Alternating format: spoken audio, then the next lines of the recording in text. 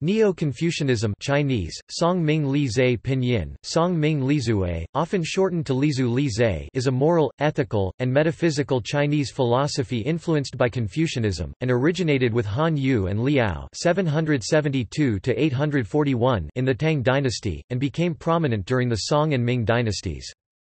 Neo-Confucianism was an attempt to create a more rationalist and secular form of Confucianism by rejecting superstitious and mystical elements of Taoism and Buddhism that had influenced Confucianism during and after the Han dynasty. Although the Neo-Confucianists were critical of Taoism and Buddhism, the two did have an influence on the philosophy, and the Neo-Confucianists borrowed terms and concepts however, unlike the Buddhists and Taoists, who saw metaphysics as a catalyst for spiritual development, religious enlightenment, and immortality, the Neo-Confucianists used metaphysics as a guide for developing a rationalist ethical philosophy. Origins Neo-Confucianism has its origins in the Tang dynasty. The Confucianist scholars Han Yu and Li Ao are seen as forebears of the Neo-Confucianists of the Song dynasty. The Song dynasty philosopher Zhou Dunyi (1017–1073) is seen as the first true pioneer of Neo-Confucianism, using Taoist metaphysics as a framework for his ethical philosophy. Neo-Confucianism developed both as a renaissance of traditional Confucian ideas, and as a reaction to the ideas of Buddhism and religious Taoism. Although the Neo-Confucianists denounced Buddhist metaphysics, Neo-Confucianism did borrow Taoist and Buddhist terminology and concepts. One of the most important exponents of Neo-Confucianism was Zhu Xi (1130–1200). He was a rather prolific writer, maintaining and defending his Confucian beliefs of social harmony and proper personal conduct. One of his most remembered was the book Family Rituals, where he provided detailed advice on how to conduct weddings, funerals, family ceremonies, and the veneration of ancestors. Buddhist thought soon attracted him, and he began to argue in Confucian style for the Buddhist observance of high moral standards. He also believed that it was important to practical affairs that one should engage in both academic and philosophical pursuits, although his writings are concentrated more on issues of theoretical as opposed to practical significance. It is reputed that he wrote many essays attempting to explain how his ideas were not Buddhist or Taoist, and included some heated denunciations of Buddhism and Taoism. After the Xining era 1070, Wang Yangming (1472–1529) is commonly regarded as the most important Neo-Confucian thinker. Wang's interpretation of Confucianism denied the rationalist dualism of Zhu's orthodox philosophy. There were many competing views within the Neo-Confucian community, but overall, a system emerged that resembled both Buddhist and Taoist, Taoist thought of the time and some of the ideas expressed in the I Ching Book of Changes as well as other yin-yang theories associated with the Taiji symbol Taijitu. A well-known Neo-Confucian motif is paintings of Confucius, Buddha, and Lao Tzu all drinking out of the same vinegar jar, paintings associated with the slogan, "'The Three Teachings Are One' While Neo-Confucianism incorporated Buddhist and Taoist ideas, many Neo-Confucianists strongly opposed Buddhism and Taoism. Indeed, they rejected the Buddhist and Taoist religions. One of Han Yu's most famous essays decries the worship of Buddhist relics. Nonetheless, Neo-Confucian writings adapted Buddhist thoughts and beliefs to the Confucian interest. In China Neo-Confucianism was an officially recognized creed from its development during the Song dynasty until the early 20th century, and lands in the sphere of Song China Vietnam and Japan were all deeply influenced by Neo-Confucianism for more than half a millennium. Philosophy Neo-Confucianism is a social and ethical philosophy using metaphysical ideas, some borrowed from Taoism, as its framework. The philosophy can be characterized as humanistic and rationalistic, with the belief that the universe could be understood through human reason, and that it was up to humanity to create a harmonious relationship between the universe and the individual. The rationalism of Neo Confucianism is in contrast to the mysticism of the previously dominant Chan Buddhism. Unlike the Buddhists, the Neo-Confucians believed that reality existed, and could be understood by humankind, even if the interpretations of reality were slightly different depending on the school of Neo-Confucianism. But the spirit of Neo-Confucian rationalism is diametrically opposed to that of Buddhist mysticism. Whereas Buddhism insisted on the unreality of things, Neo-Confucianism stressed their reality. Buddhism and Taoism asserted that existence came out of, and returned to, non-existence. Neo-Confucianism regarded reality as a gradual realization of the Great Ultimate.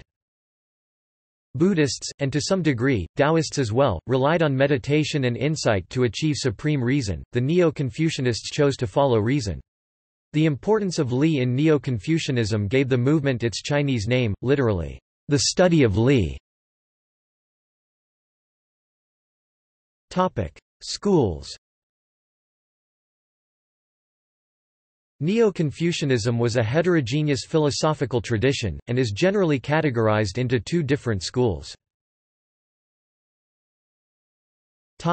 Two-school model versus three-school model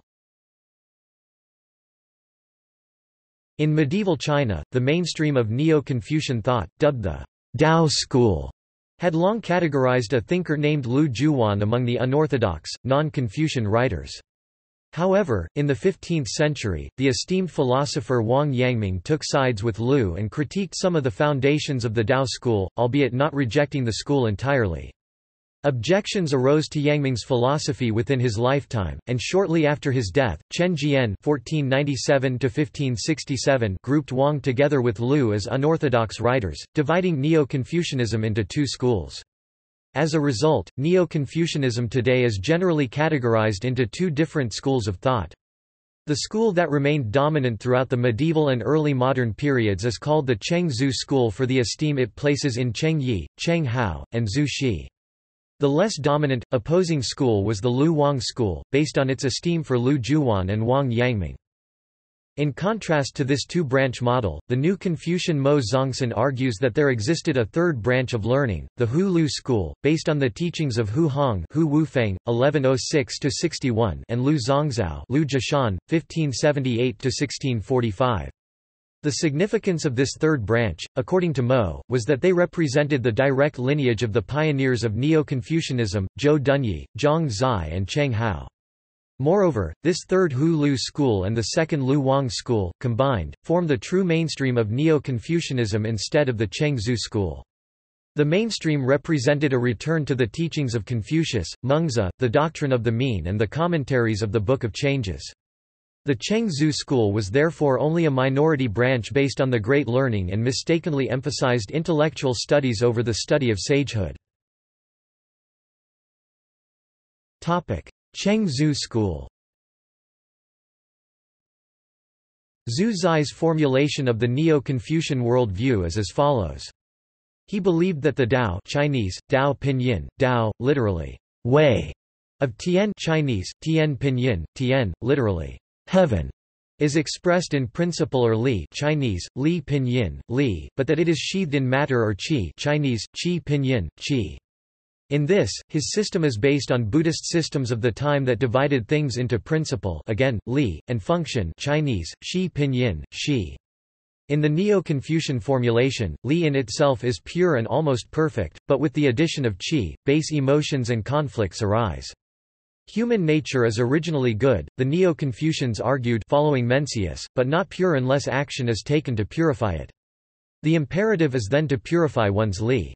However, in contrast to Buddhists and Taoists, Neo-Confucians did not believe in an external world unconnected with the world of matter.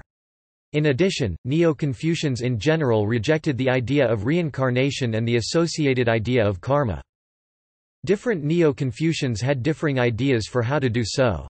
Zhu Xi believed in Gewu Chinese, Wu Pinyin, Wu, the investigation of things, essentially an academic form of observational science, based on the idea that Li lies within the world. Lu Wang School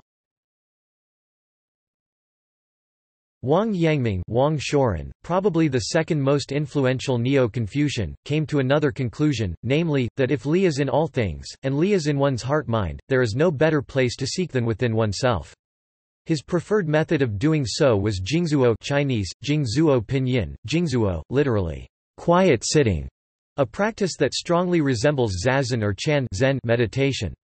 Wang Yangming developed the idea of innate knowing, arguing that every person knows from birth the difference between good and evil. Such knowledge is intuitive and not rational. These revolutionizing ideas of Wang Yangming would later inspire prominent Japanese thinkers like Motoori Norinaga, who argued that because of the Shinto deities, Japanese people alone had the intuitive ability to distinguish good and evil without complex rationalization. Wang Yangming's school of thought Oyome Gaku in Japanese also provided, in part, an ideological basis for some samurai who sought to pursue action based on intuition rather than scholasticism. As such, it also provided an intellectual foundation for the radical political actions of low-ranking samurai in the decades prior to the Meiji Ishin 1868, in which the Tokugawa authority 1600 was overthrown. Neo-Confucianism in Korea In Joseon Korea, Neo-Confucianism was established as the state ideology. The Yuan occupation of the Korean peninsula introduced Zhu Xi's school of Neo-Confucianism to Korea. Neo-Confucianism was introduced to Korea by An Hyang during Goryeo dynasty. At the time that An Hyang introduced Neo-Confucianism, the Goryeo dynasty was in the last century of its existence and influenced by the Mongol Yuan dynasty. Many Korean scholars visited China during the Yuan dynasty and An Hyang was among them. In 1286, he happened to read a book of Zhu Xi in Yanjing. He was so moved by this book that he transcribed this book in its entirety and came back to Korea with his transcribed copy. It greatly inspired Korean intellectuals at the time and many, predominantly from the middle class and disillusioned with the excesses of organized religion in the form of Buddhism and the old nobility, embraced Neo-Confucianism. The newly rising Neo-Confucian intellectuals were leading groups aimed at the overthrow of the old and increasingly foreign-influenced Goryeo dynasty. After the fall of the Goryeo dynasty and the establishment of the Joseon dynasty by Yi Seong-gye in 1392 AD, Neo-Confucianism was installed as the new dynasty's state ideology. Buddhism, an organized religion in general was considered poisonous to the Neo-Confucian order. Buddhism was accordingly restricted and occasionally persecuted by the new dynasty.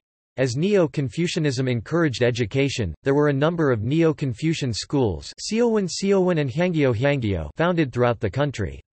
Such schools produced many Neo-Confucian scholars, including individuals such as Zhou Ji Wang Zhou, Jiaguangzhou Zhao Guang Zhu 1482–1520, Yi Wang, Ihuang Li Huang pen name Togi Togi, Tuishi 1501–1570, and Yi I, E Lier 1536–1584. In the early 16th century, Zhou Ji Wang Zhou attempted to transform Joseon into the ideal Neo-Confucian society with a series of radical reforms until he was executed in 1520. Despite the failure of his attempted reforms, Neo-Confucianism soon assumed an even greater role in the Joseon dynasty. Soon Korean Neo-Confucian scholars, no longer content to only read and remember the Chinese original precepts, began to develop new Neo-Confucian theories. Yi Wang and Yi I were the most prominent of these new theorists. Yi Wang's most prominent disciples were Kim Seong Il Jin Sheang Yi, 1538–1593, Yu Seong Ryong Lu Sheang Long 1542–1607 and Zheng Gu, Hangong Zhenggu Han Gang Zheng Chu 1543, 1620, known as the Three Heroes. These were followed by a second generation of scholars which included Zhang Hyungwang, Zhang Xian Guang 1554 1637, and Zhang Hunghio, Jing Tang Zhang Sheng Xiao 1564 1633, and by a third generation including Heo Mok, Yun Hyu, Yun Son-du, Song Si Yol which brought the school into the 18th century but Neo-Confucianism in the Joseon dynasty became so dogmatic in a relatively rapid time that it prevented much needed socio-economic development and change, and led to internal divisions and criticism of many new theories, regardless of their popular appeal. For instance, Wang Yangming's theories, which were popular in the Chinese Ming dynasty, were regarded as heresy and severely condemned by Korean Neo-Confucianists. Furthermore, any annotations on Confucian canon which are different from Zhu Xi were excluded. During the Joseon dynasty, the newly emerging ruling class, called Sarim, Salim Shi Lin also became divided into political factions according to their diversity of Neo-Confucian views on politics. There were two large factions and many subfactions.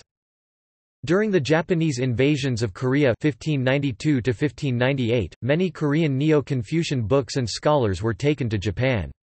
They influenced Japanese scholars such as Fujiwara Seika and affected the development of Japanese Neo-Confucianism. Neo-Confucianism in Japan Bureaucratic examinations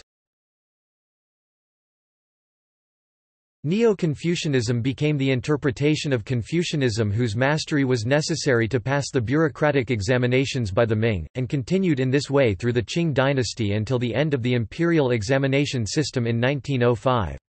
However, many scholars such as Benjamin Elman have questioned the degree to which their role as the orthodox interpretation in state examinations reflects the degree to which both the bureaucrats and Chinese gentry actually believed those interpretations, and point out that there were very active schools such as Han Learning which offered competing interpretations of Confucianism.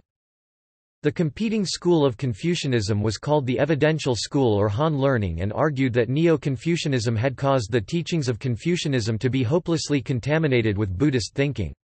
This school also criticized Neo-Confucianism for being overly concerned with empty philosophical speculation that was unconnected with reality. Confucian canon The Confucian canon as it exists today was essentially compiled by Zhu Xi.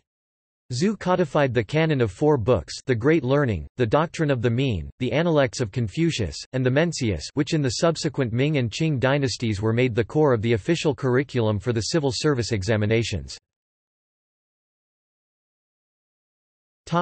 New Confucianism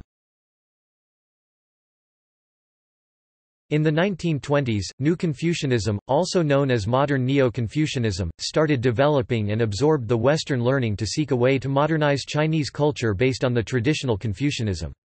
It centers on four topics, the modern transformation of Chinese culture, humanistic spirit of Chinese culture, religious connotation in Chinese culture, intuitive way of thinking, to go beyond the logic and to wipe out the concept of exclusion analysis. Adhering to the traditional Confucianism and the Neo-Confucianism, the modern Neo-Confucianism contributes the nations emerging from the predicament faced by the ancient Chinese traditional culture in the process of modernization. Furthermore, it also promotes the world culture of industrial civilization rather than the traditional personal senses.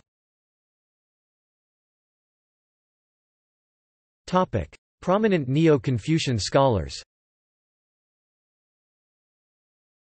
Topic: China. Cheng Yi and Cheng Hao. Liu Xiangshan also known as Liu Zhuwan (1139–1193), Ouyang Xiu 1007 to 1072 Xiao Yang 1011 to 1077 Su Shi, also known as Su Dongpo 1037 to 1101 Wang Yangming, also known as Wang Shouren, Wu Cheng (1249–1333), Yi Shi (1150–1223), Zhang Shi (1133–1180), Zhang Zai, Zhou Dunyi (1017–1073), Zhu Xi (1130–1200), Cheng Duanli (1271–1345). Topic: Korea. And Hyang (1243–1306), Yi Saik (1328–1396), Zheng Mong Ju (1337–1392), Zheng Dojun (1342–1398), Gil J 1353 to 1419 Ha Ryan, Guan Jun, Zheng In Ji (1396–1478), Kim Suk Ya Kim Jong-jik (1431–1492), Nam Hyo-on, Kim Goyal-pil, Jo Ji Wang Jo (1482–1519), Seo Jongdeok, Yi Eon Jeok, Yi Wang, pen name Togi (1501–1570), Zhou Sik (1501–1572), Ryu Sungryong, Yi Heng,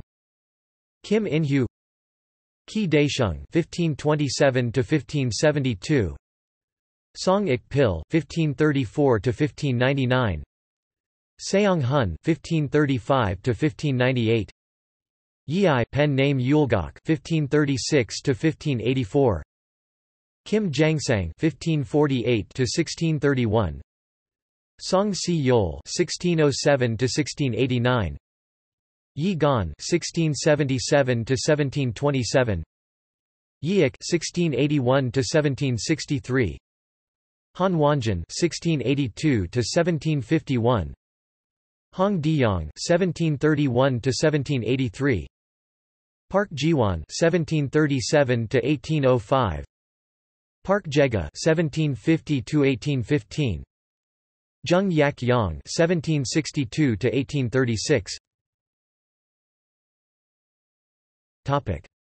Japan. Fujiwara Seika (1561–1619), Hayashi Razan (1583–1657), Nakae Toju (1608–1648), Yamazaki Ansai (1619–1682), Kumazawa Banzan (1619–1691), Yamaga Soko (1622–1685), Ito Jinsai (1627–1705), Kaibara Ekken, also known as Akikan (1630–1714), Arai Hakuseki (1657–1725), Ogyu Sorai (1666–1728), Nakai Chikuzen (1730–1804), Oshio Heihachiro (1793–1837). Topic: Vietnam. Chu Van An (1292–1370), Lakai Don (1726–1784), Nguyen Khuyen (1835–1909), Phan Dinh Phung (1847–1896), Tu Duc (1829–1883). Topic Notes Topic References William Theodore de Bary 1989. Neo-Confucian Education, The Formative Stage. University of California Press. pp. 455. ISBN 978-0-520-06393-8.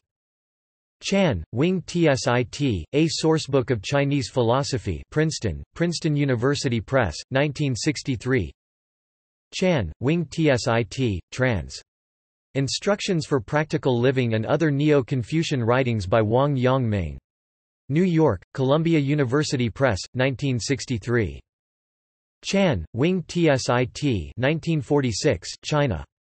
Berkeley and Los Angeles, University of California Press. Craig, Edward 1998, Routledge Encyclopedia of Philosophy, Volume 7, Taylor and Francis, ISBN 978-0-415-07310-3 Daewon, No. The Eclectic Development of Neo-Confucianism and Statecraft from the 18th to the 19th Century, Korea Journal Winter 2003. Henderson, John B. 1998. The Construction of Orthodoxy and Heresy, Neo-Confucian, Islamic, Jewish, and Early Christian Patterns. Albany, New York, State University of New York Press. Huang, Hsu Kai. Essentials of Neo-Confucianism, Eight Major Philosophers of the Song and Ming Periods Westport, Greenwood Press, 1999. Mair, Victor H. ed. 2001. The Columbia History of Chinese Literature. New York, Columbia University Press. ISBN 0-231-10984-9, Amazon Kindle edition, Tu Weiming. Neo-Confucian Thought in Action, Wang Yangming's Youth 1472–1509. Berkeley and Los Angeles, University of California Press, 1976. Tu Weiming. Confucian Thought, Selfhood as Creative Transformation. New York, State University of New York Press, 1985. Theodore, de Bary William. Sources of East Asian Tradition. New York, Columbia UP, 2008. Print. Ebrey, Patricia Buckley. Chinese Civilization, A Sourcebook. New York, Free, 1993. Print. Topic external links Neo-Confucian philosophy. Internet Encyclopedia of Philosophy. In English in Chinese Writings of the Orthodox School from the Song Dynasty